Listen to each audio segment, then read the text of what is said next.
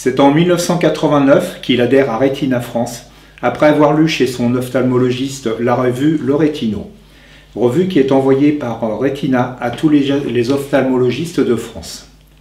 Il est l'un des nombreux correspondants Retina France. Il a été membre du conseil d'administration durant neuf années, membre de la commission nationale d'accessibilité.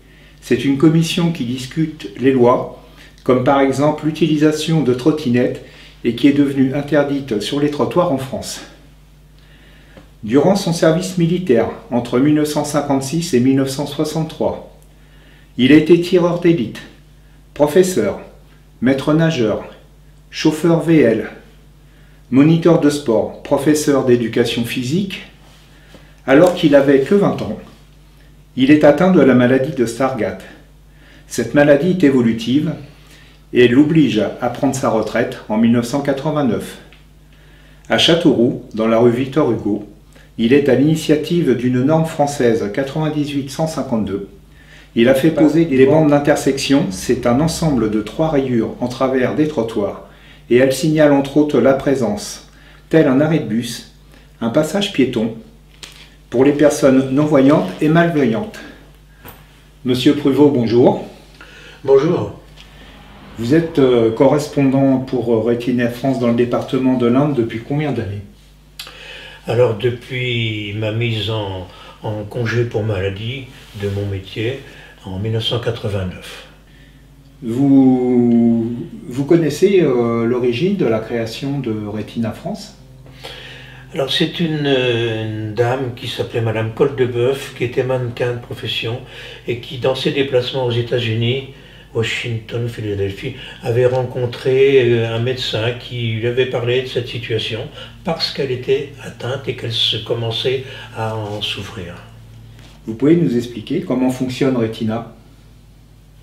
Alors Retina France a créé un comité scientifique, c'était le premier pour les maladies de la vue, composé des plus grands chercheurs, comme le docteur Hamel qui est décédé récemment et qui a fait des découvertes d'ailleurs, hein, ou bien comme la généticienne euh, Madame Kaplan à Paris qui exerce toujours, je crois.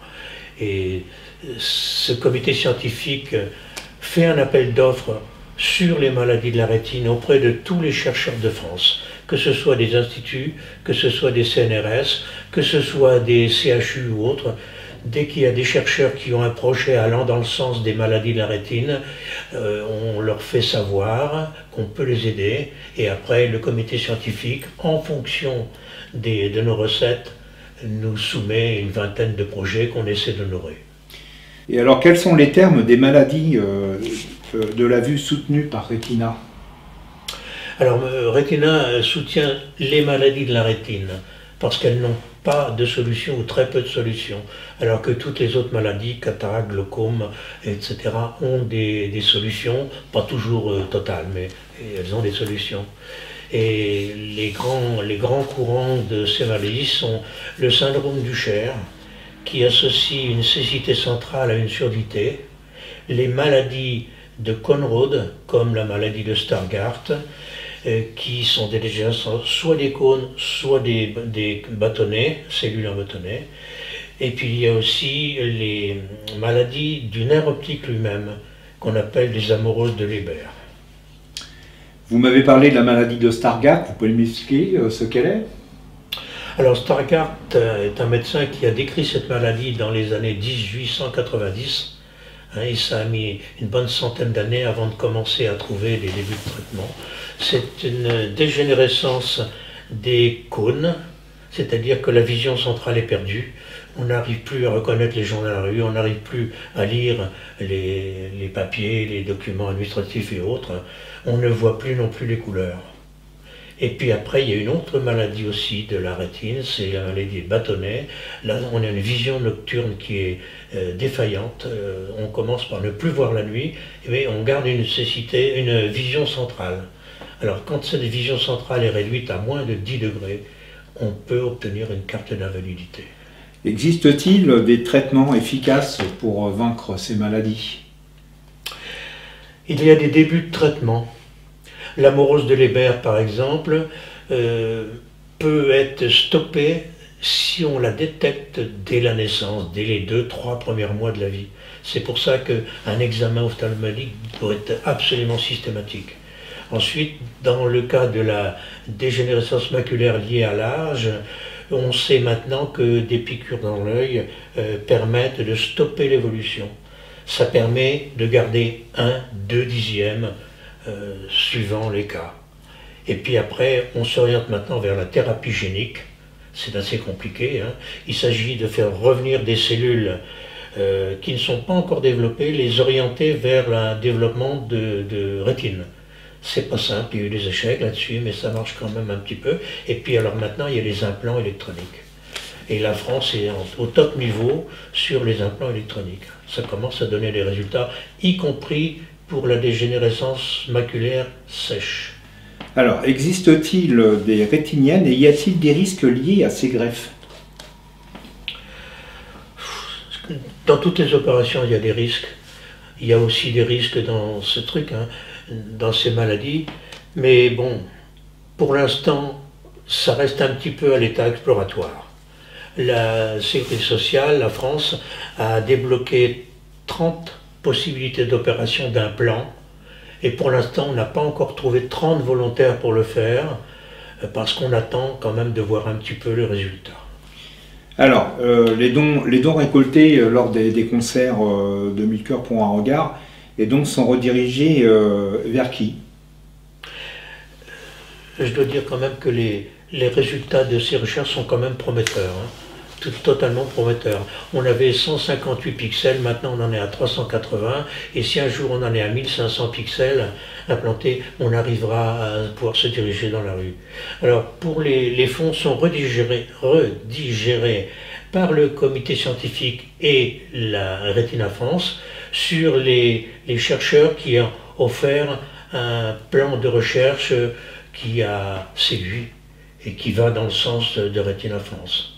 Alors ça peut être 20 euh, 000 euros euh, pour un, jeune chercheur, ça peut être 100 000 euros pour certaines recherches, ça, va jusqu'à... Enfin on arrive à, à débloquer jusqu'à un million pour la recherche c'est important comme ça. En tout cas, c'est très important euh, euh, que des chercheurs euh, évoluent dans, leurs travaux parce que ça concerne des millions de personnes, non pas que en France, mais aussi dans le monde.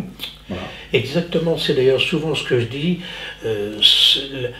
5 euros donnés, 10 euros donnés, 20 euros donnés, c'est de l'énergie durable. La petite recherche qui sera faite par Retina sur ce sujet, dans 1000 ans, elle sera toujours présente si on fait une petite découverte, dans 1000 ans, elle sera encore là.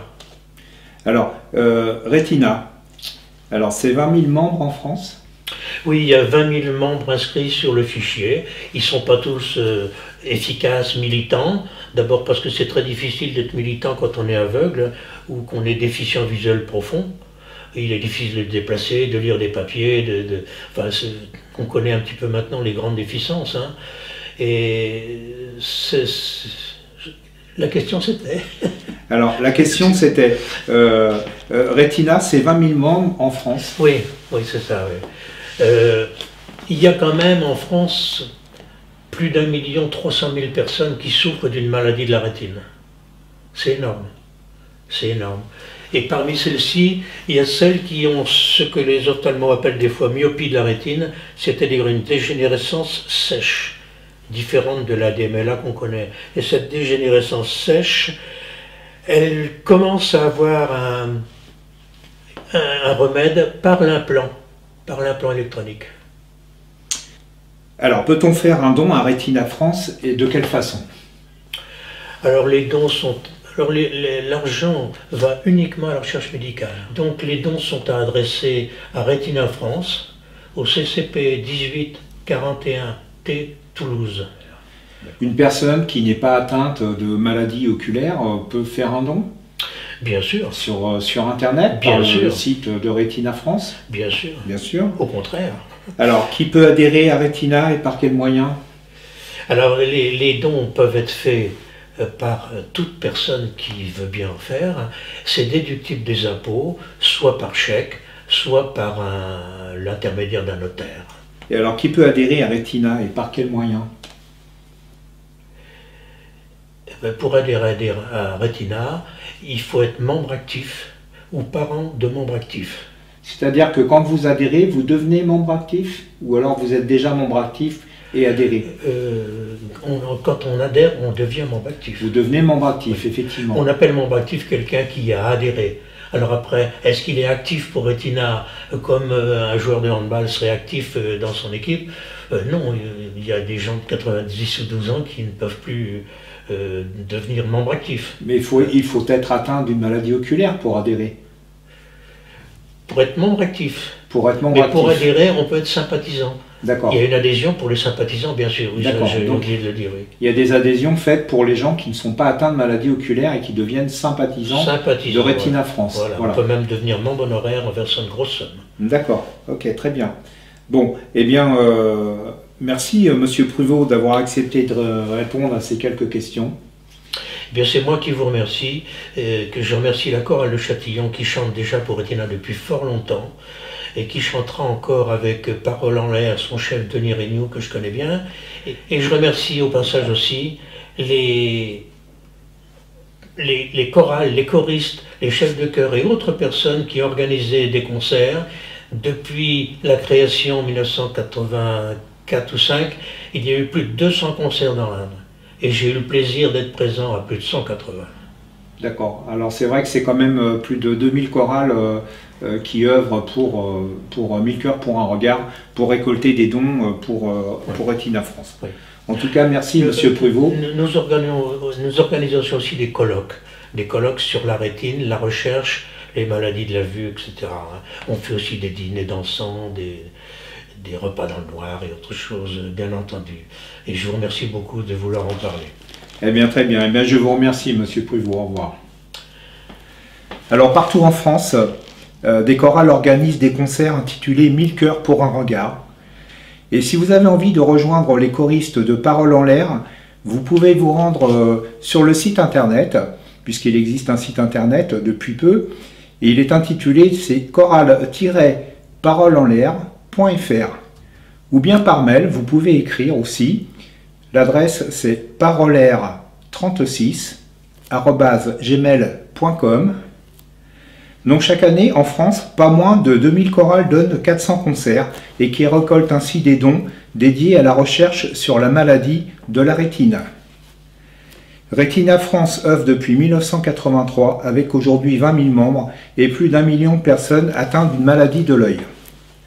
Il existe 34 maladies touchant l'œil euh, telles que la DMLA, qui est une dégénérescence liée à l'âge, la myopie, l'hypermétropie, l'astigmatisme, la presbytie. Alors le syndrome des verres euh, teintés, euh, c'est une maladie qui n'est pas connue apparemment, mais en tout cas qui est insoupçonnée. Mais donc il est, lié au port constant de verre foncé et donc qui n'est pas nécessaire et peut être générateur de troubles. L'intolérance sur les lentilles de contact aussi, c'est pareil, c'est euh, générateur de troubles euh, sur la rétine. Le strabisme, la conjonctivite, le, trachome, le glaucome, la cataracte aussi, qui est bien connue, hein, liée à l'âge, bien sûr, et euh, la kératite. Donc. Alors, créée en 1984, Retina France est une association à but non lucratif. Elle est reconnue d'utilité publique depuis le 6 novembre 1998. Alors, regrouper les maladies, elle regroupe les maladies atteintes de dégénérescence rétinienne telles que la DMLA, euh, donc liée à l'âge, et à la rétinite pigmentaire, afin d'informer, apporter une assistance sociale et humanitaire. Elle aide aussi à surmonter leur maladie. Alors le contact pour Retina France, pour les gens qui veulent faire un don tout simplement, ou éventuellement euh, adhérer euh, sans être atteint d'une maladie oculaire, c'est possible? Retina France est donc euh, domicilié à Colomiers dans le 31. son numéro de téléphone est le 05 61 30 20 50 et l'adresse mail est info@retina.fr auquel vous pouvez, vous pouvez vous rendre et écrire éventuellement si vous avez besoin d'informations complémentaires. Sur Facebook aussi, c'est un réseau social qui est très prisé de beaucoup de personnes en France et aussi dans le monde bien sûr parce que Retina euh, n'est pas euh, que en France. Euh, donc sur Facebook c'est Retina France et si vous désirez devenir correspondant, Il existe aussi des gens correspondants à Retina, qui sont adhérents pour ça, et ils sont correspondants entre les, chorales euh, du département auquel ils appartiennent. Et donc là, c'est pareil, rendez-vous sur retina.fr. Retina, euh, c'est aussi 101 euh, correspondants dans 56 départements français. Allez, je vous remercie et puis nous avons eu plaisir avec Monsieur Pruvot à développer, en tout cas essayer de donner un œil averti, si j'ose dire, sur les maladies qui font souffrir des millions de personnes dans le monde.